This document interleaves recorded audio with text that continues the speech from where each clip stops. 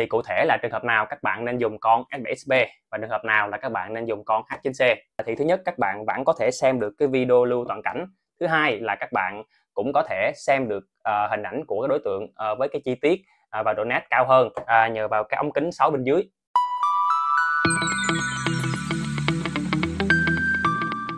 Hello, xin chào các bạn đã đến với kênh của mình và mình là Thành. Thì trong video ngày hôm nay uh, mình sẽ uh, nói về cái cách sử dụng của camera hai mắt. À, uh, iMove S7SP uh, à, và Exhibit H9C. Uh, thì cụ thể là trường hợp nào các bạn nên dùng con S7SP và trường hợp nào là các bạn nên dùng con H9C. Và mình cũng đã có một cái video so sánh rất là chi tiết uh, về hình ảnh cũng như là độ sáng về hồng ngoại này, độ sáng đèn spotlight, uh, khả năng chống ngược sáng, âm thanh, vân vân. Uh, thì mình có để link video bên dưới. Uh, nếu như các bạn quan tâm thì có thể tham khảo nha à, mình sẽ phân tích cái cấu tạo cũng như là các chức năng của hai con camera này à, để mình có thể đưa ra cái quyết định lựa chọn phù hợp cho cái nhu cầu thực tế của mình thì điểm thứ nhất à, mình à, sẽ nói về cái ống kính quan sát. À, thì cái con iMove S7XP này nó sử dụng cái ống kính 3.6 à, ờ, cho cả hai mắt.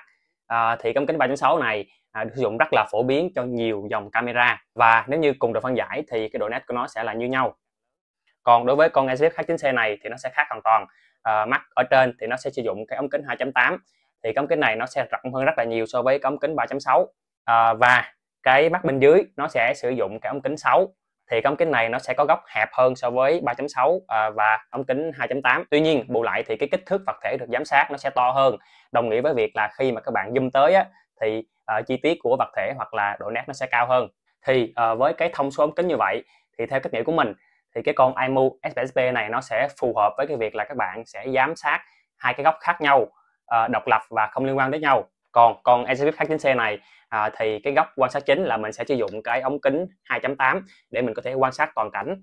À, còn cái ống kính à, xoay bên dưới sử dụng cái uh, ống kính 6 thì mình sẽ sử dụng để hỗ trợ cho cái ống kính trên. À, trong trường hợp mà các bạn à, cần lấy hình ảnh nó chi tiết hơn và độ nét cao hơn. Vậy thì cái ống kính bên dưới nó sẽ hỗ trợ cho cái ống kính trên như thế nào? Thì à, cái con Exhibit H9C này nó có cái tính năng liên kết đa ống kính tức là cái ống kính xoay bên dưới nó sẽ à, tự động theo dõi cái đối tượng được phát hiện ở trong cái à, ống kính à, góc rộng này. Vì vậy thì khi mà các bạn xem lại video được lưu trên thẻ nhớ này hoặc là trên cloud à, thì thứ nhất các bạn vẫn có thể xem được cái video lưu toàn cảnh. Thứ hai là các bạn cũng có thể xem được uh, hình ảnh của cái đối tượng uh, với cái chi tiết uh, và độ nét cao hơn uh, nhờ vào cái ống kính 6 bên dưới hoặc là khi mà các bạn xem trực tiếp các bạn có thể sử dụng cái à, tính năng xem nơi mà bạn chạm vào trên cái ống kính góc rộng phía trên. À, thì cái đó cái ống kính xoay bên dưới nó sẽ tự động xoay tới cái vị trí đó để à, các bạn có thể lưu được cái hình ảnh à, có độ chi tiết và độ nét cao hơn. Trở lại với con Emu SPSP, à, thì nãy mình có nói là con này phù hợp cho các bạn à, khi mà các bạn giám sát à, hai cái góc à, độc lập với nhau không liên quan gì với nhau. À, thì trong phần báo động của camera này à, các bạn có thể bật hoặc là tắt à, báo động cho từng mắt à, và à, mắt trên nó sẽ không liên quan gì đến mắt dưới. Còn với con hát chính xe này thì nó sẽ có tác dụng đồng thời cho cả hai mắt. Ví dụ à, trong trường hợp mình muốn phát hiện người à, ra vào tại khu vực cửa à, còn ở bên ngoài thì mình sẽ tắt báo động. Thì trong phần cài đặt báo động của camera IMU S7SP um, tại cái ống kính Pantil uh, mình sẽ uh, chỉ bật phát hiện người. Uh, còn tại ống kính cố định mình sẽ tắt hết tất cả các báo động đi.